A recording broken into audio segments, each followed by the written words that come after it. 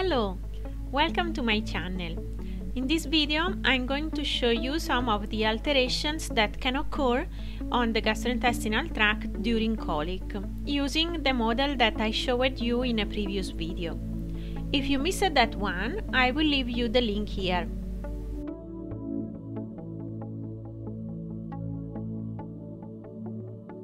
Let's start with large colon.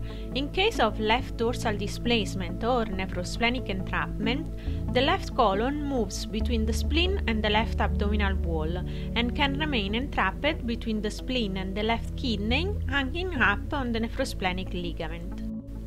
On rectal exam, left colon can be palpated in this position or the spleen can be felt displaced medially if it remains between spleen and the abdominal wall. Similarly, on ultrasound we cannot see the left kidney near the spleen because the colon is in the middle. But actually, if there is not too much gas in large colon, as you can see, anatomy is not really changed too much, so diagnosis is not always so easy.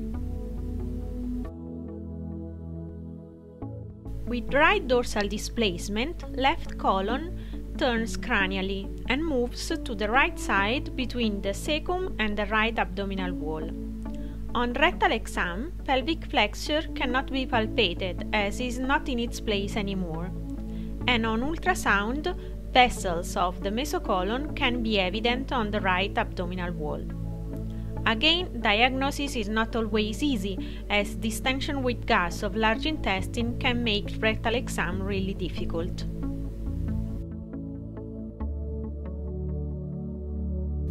With large colon torsion, a segment of the large colon turns on itself. It can occur at any point of the large colon and on both cloak ends, and of different degrees, so the extension and the degree of vascular damage may vary. With intussusception, a segment of the small intestine telescopes inside of another. It's more common in young horses and it can be secondary to the presence of intestinal parasites. On ultrasound, we usually find an image like this one of a target sign or bullseye sign.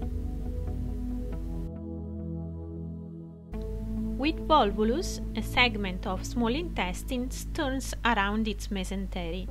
The portion involved can be more or less extensive, and the vascular compromise depends also on the time passed since the beginning of the colic.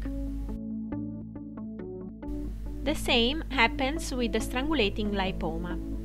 A lipoma is a benign tumor of adipose tissue that develops as a ball with the pedicle attached to the mesentery, and this pedicle can turn around a portion of small intestine, or less frequently of small colon.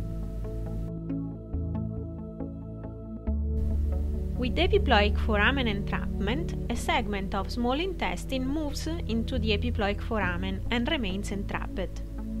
This happens especially in windsuckers, and this is a little bit more difficult to explain you with this model as the stomach balloon doesn't really have the same shape of the real stomach. So I'll show you with this drawing. Actually the intestine doesn't really enter directly into the epiploic foramen, but instead it passes through the vestibule of the omental bursae that's delimited by the gastrosplenic and the hepatogastric ligaments, pancreas and lesser curvature of the stomach. And that's all for today. Thanks for watching. Bye!